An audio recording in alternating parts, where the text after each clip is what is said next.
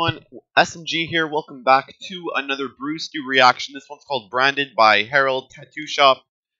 Make sure you go subscribe to Brewstew Films. Make sure you watch the original video, link down below. Make sure you like this video, subscribe, ring the bell, share, and all the good jazz. Let's get it in three, two, one.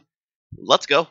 Hey, I'm Harold from Branded by Harold Tattoo Shop, and I'm here to announce that next week is Old People Week. You got a Gram Gram or a Pop Pop you want to get tattooed? Well, bring 'em down here for a nice tattoo. Uh, I want a tattoo. Well, hey there, creepy old man. You want a nice Creepy old man. belly?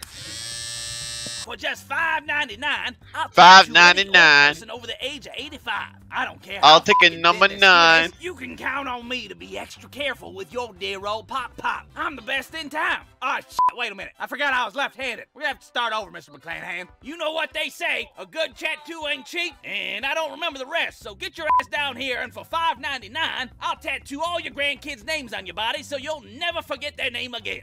Merry Christmas to you, little Billy, and a Merry Christmas to you, little uh, uh, oh God damn it, Shelly. That's it. Merry Christmas, little Shelly. Anything you want. A cup of tapioca pudding, some suspenders, a hot dog that's saluting the American flag.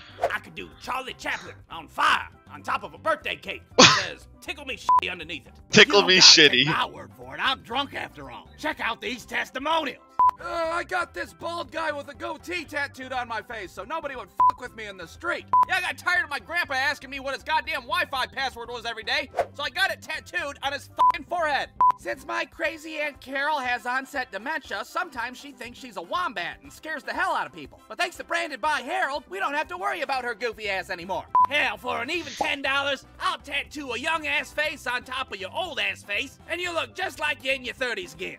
Oh my goodness, is that John Stamos? Nope, it's just John Stamos. Mr. Johnson. God damn There he is. Johnson, you look fly as hell. So come Oh, on nice. down to Branded by Harold and get your old ass gram gram or poop poop a fly ass tattoo. I'm a wombat. I'm a wombat. What? What? What? What? I'm a wombat. That's hilarious. Anyways, guys, yeah, make sure you watch the original video. Subscribe to Brewstew. Make sure you like this video, subscribe, ring the bell, share, and I'll see you guys next video. There, guys. Thanks for watching. Deuces.